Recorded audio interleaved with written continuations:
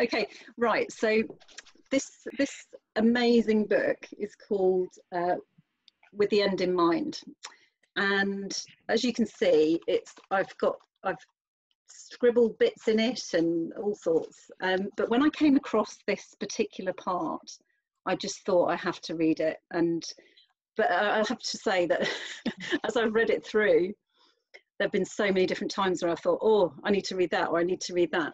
Anyway, I'm going to read you this. Are you ready? So I'm going to read. I'm going to read a bit, and then I'm going to go on to the next page, which uh, so I'm missing quite a bit out, but then it, it will make sense. By evening, it was clear that her burdens laid down. Nana was preparing to die.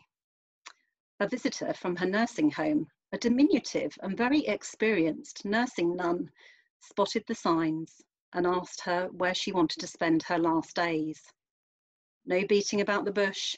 Nana wanted to get home, and the knee high nun said they would expect her home tomorrow. The ward staff agreed to make the transfer arrangements. Nana smiled and slept and slipped into a coma. All things I have seen many, many times, time, many, many times, yet never really seen at all. And that is how I came to come to be perched on the edge of this chair in the darkness, searching the face and the sounds of my frail and failing grandmother. Suddenly she opens her eyes and says, You should be not here, asleep. Almost a sensible sentence. I touch her cheek and notice that her nose is cool at the tip. Nana, you have walked the floor at night for all of us. Now it's your our turn. Just sleep. I'm comfy here, and it's lovely to be with you and she smiles a gummy benediction of a smile that brings tears to my eyes. Mum and Auntie have gone for a cup of tea. They'll be back soon. Can I get you anything? She shakes her head and closes her eyes. From out of nowhere, the sound of Brahms' lullaby floats into my mind. It's halting waltz time reinterpreted as a bedtime lullaby sung to each of her 13 grandchildren in our turn, and probably to our parents before us too. In Nana's deep, cracked yet soothing voice, here at the edge of her dying, I contemplate the meagre understanding I have of her long and often troubled life, and the intimate knowledge that she has of mine. She is a remarkable woman. The next 20 minutes pass in this way before Mum and Auntie reappear with a paper cup of orange hospital tea for me. Oh, I remember those ho horrible orange cups of tea.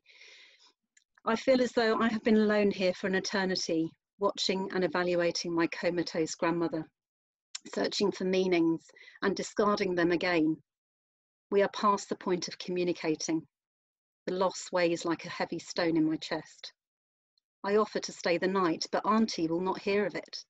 The night shift is hers, and tomorrow I have a long journey back to my small children and my busy job and my kind husband. I know that I will not see Nana again.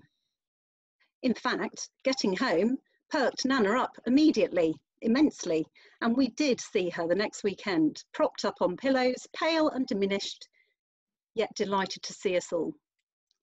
Between long snoozes, she enjoyed short conversations. I was not there when she gave out her last breath the following week, but I had learned the lesson of the vigil and through the kindness of the natural order, watching a grandparent's death. Since then, there have been many other vigils with the same intensity of active watching and exhausting focus, and with sadness at the untimeliness of deaths before their right time, as though there is a right time, but also with recognition and appreciation of the last lesson I learned at my grandmother's knee. I'm so glad you chose that. Thank you. It was a great learning experience because I think we all think we know because we see things. Yes. And then suddenly we're not watching somebody else. We're, we're in it. We are in the bedside chair as the relative. And it feels completely different. And it changed the way I was able to sympathize with families who came to say, I'm sure my dad's groaning, come and listen to this noise. And I was sure she was trying to speak with one half of my head while the other half of my head was saying, You've seen this hundreds of times. This is unconscious breathing. She is not speaking, she's breathing through a closed throat. Is she? Isn't she? Yeah. So it's made it made me a kinder doctor. Yeah. I, I, I knew that when I read it. Yeah, I, I knew I knew that. So I have read from Julie's book. Now I want to show you Julie's book because one of the things that's gorgeous about Julie's book is it's teeny tiny. It's a coffee table book and it's made so that you know when you don't know what to say. It's a gift. It's a, it's a gift you could give to somebody at the beginning of grieving or any point in grieving really. And it's a combination of Julie's experiences in working with people who are grieving and her own experiences but it also includes some really wonderful advice about looking after ourselves. And, and Julie's first book um, talks about seeing our life as a path through a garden and how we need to recognize who are the flowers in our garden, the things that are precious to us, the people who, who nurture us, and we have to water ourselves as well. And this book picks up that message. And so it's the message to me as a reader or you if you are reading it that I'm going to read. So a little bit from the introduction and then I'm going to take you to the end of the book. In my first book, I introduced you to the analogy of life being like a garden. Just like the plants in a garden, we all need to be nourished in order to survive and thrive. I therefore use keep watering you, a phrase I use to remind people of the need to look after themselves in order to be happy and healthy. There's then a really lovely series of stories of different sorts of loss. And one of the things I'm really glad to see in here is it's not just loss of spouse or loss of child or loss of friend, it includes loss of pet. Those really, really important things because none of us can say whose loss is the greatest for a person other than ourselves. And then towards the end, Julie comes back to the self care that we need. I'm now going to share with you a hugely valuable exercise to help you discover your own good grief garden path.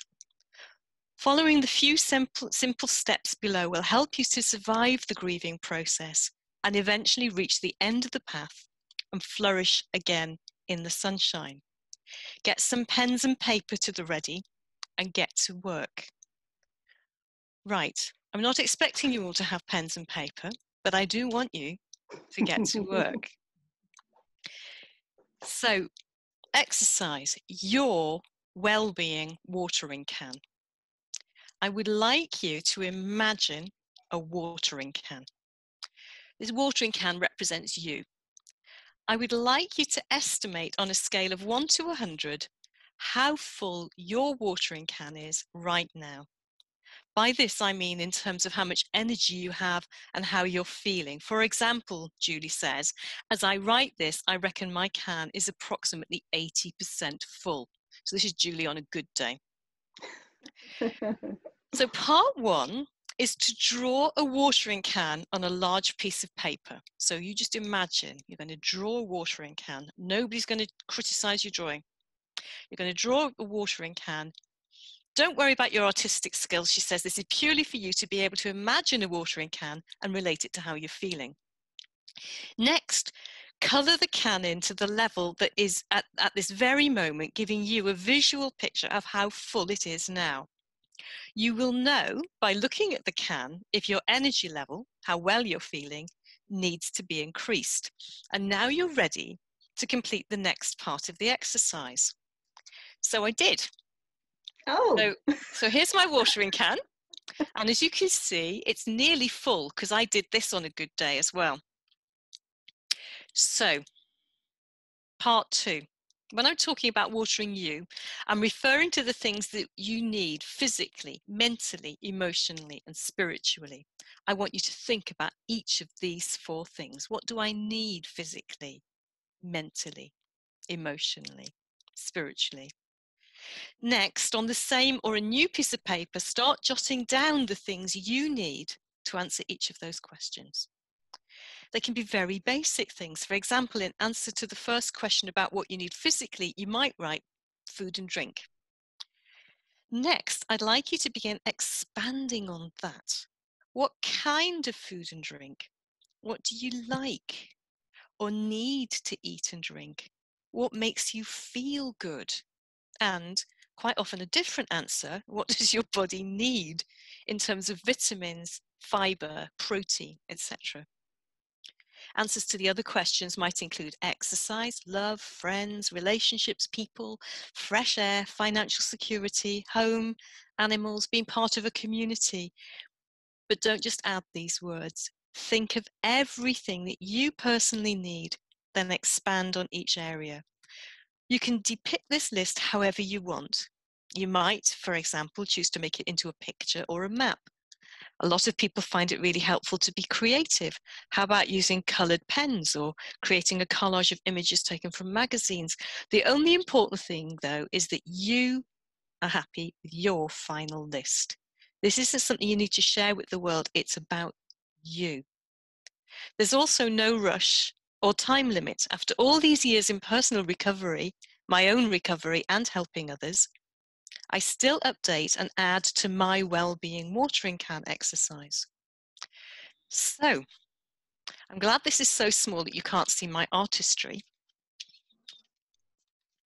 But these are my four, try and get the light right, four circles and they all interlink with each other. So then it was really hard to think about well what's what's physical and a bit spiritual and what's emotional and mental at the same time. But i did actually end up with a diagram that's got my most important relationships and a cup of tea in the bit where physical spiritual emotional and and men, uh, mental all overlap with each other. So the core of my being is my loving relationships and a cup of tea.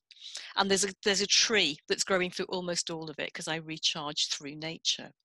But what this exercise did for me was to make me realize how bad I am at looking after myself and how I need to try and do something about that. And in one corner of this, I've ended up drawing a clock because actually time I don't manage well enough to keep watering me. So I have found Julie's book to be really useful. And she finishes by inviting you to start including everything you've listed in part two into your daily life. The emphasis there is on daily. You might find it hard at first, but I promise you the rewards will be worth it, even when you can't bear to peek out from under your duvet or face the world ever again. I do want you to keep this exercise in mind. Do something from that list every day. And that's about keeping watering you. And I loved it. I had far more fun doing it than I had thought I would have. Oh. And what I thought and what I discovered doing it were not the same thing. It's a beautiful exercise, and I really commend it to you all. Thanks, thank Julie. You. Thank, thank you. That's thank fantastic. You both. That was